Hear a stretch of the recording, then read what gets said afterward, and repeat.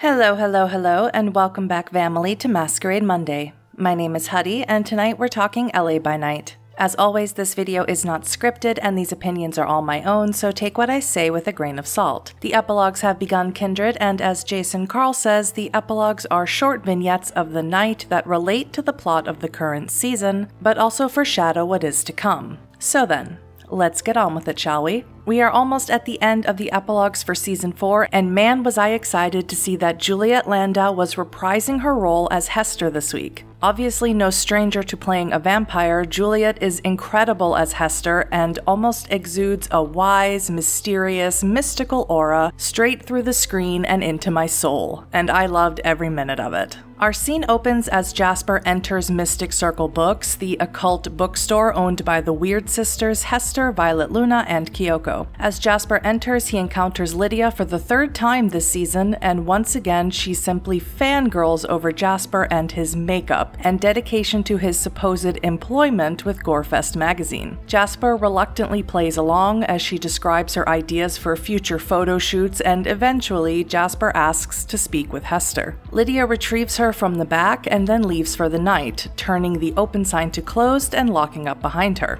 Hester wastes no time lightly chastising Jasper for the damage Kyoko took when she accompanied him, Eva, and Greg in episode 2. Hester claims Kyoko is naive and asks if she can trust Jasper to be wiser in the future, to which Jasper gives Hester his word. Jasper tells Hester that Eva has left LA, and Hester seems genuinely sorry for Jasper and tells him she did not know Eva had left. Jasper tells Hester that he has someone he cares about who needs a clear head, obviously referring to X, and asks if it's possible to help him using blood magic. Hester says it is possible to do something about it, but this comes at a price, at a cost, and asks if magic is the only way to help him. Jasper divulges to Hester how little he truly knows about Kindred. He tells her about his embrace, that he was cornered in his apartment and abandoned, and had to learn all he knows through trial and error. Jasper tells her that as a human, he wanted so badly for magic to be real, and no matter how hard he looked, it was always a farce,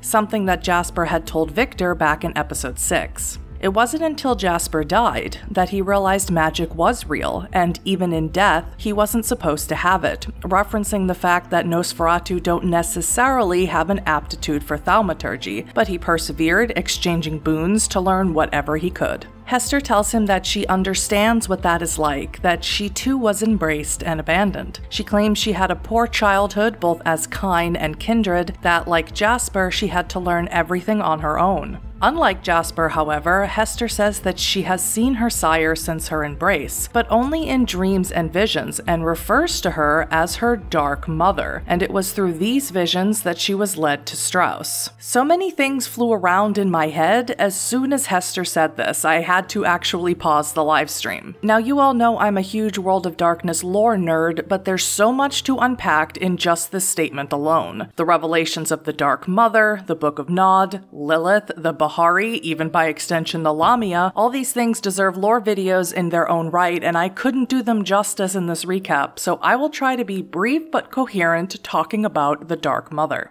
Multiple times this season, we have seen and heard the characters reading from the Book of Nod, a collection of supposedly sacred texts from the Dark Father, Cain, the progenitor of the kindred race. According to the first section of the Book of Nod, the Chronicle of Cain, it was Lilith, the first wife of Cain's father Adam, who sheltered and clothed and fed Cain after he was cast out and cursed by God for killing his brother Abel. As stated in the text, it was Lilith who shared her magic with him by feeding him her blood, and that this blood awakened him to the powers of the kindred clans, such as celerity, protean, and so on. This led to other things too, the common banes of the kindred, such as weakness to the sun and dependence on blood, among other things. Cain was obsessed with his new powers, unleashing multiple disciplines at once. Lilith tried to stop him, but Cain decided he got what he wanted and no longer needed her. It states in the Book of Nod Then Lilith commanded that I stop, saying that I had overreached my bounds, that I had gone too far, that I threatened my very essence.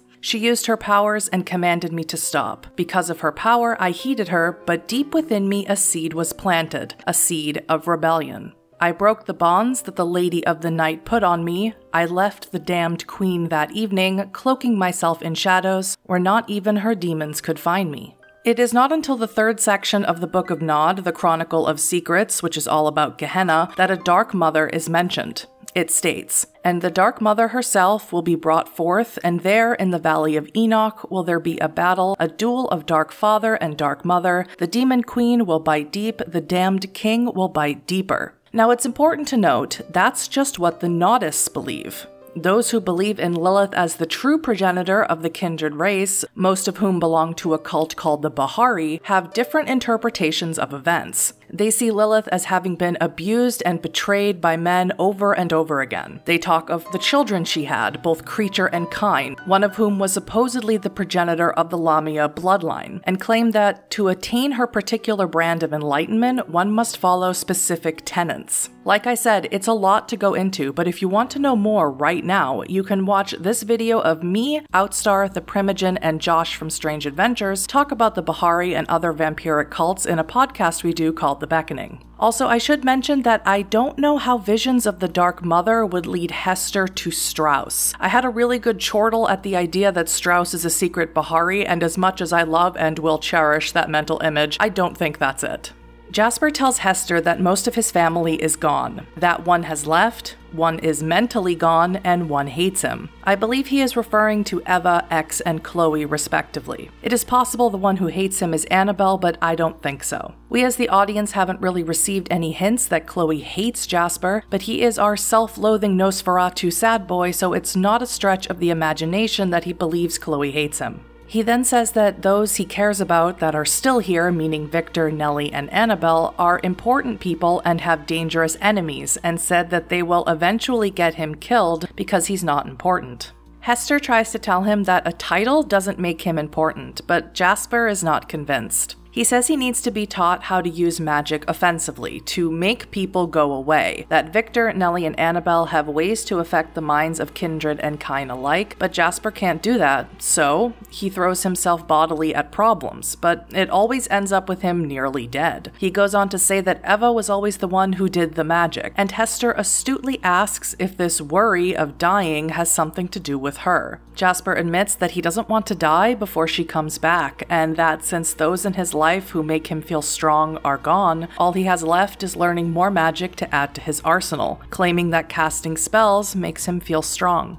Lydia returns in this moment, forgetting her laptop once again, like she did in episode 2. Lydia gives Jasper some sketches and invites Jasper out for coffee or a drink sometime so they can talk more about Gorefest. For a Nosferatu, Jasper sure does have a way with the ladies. Jasper admits to Hester that although Kyoko has taught him some things already, such as the ritual Wake with Evening's Freshness and Corrosive Vitae, he believes her to be too innocent to teach him what he really wants to learn, and Hester doesn't appear to disagree with this. Jasper receives a text from Chloe saying it's time to start paying me what you owe me.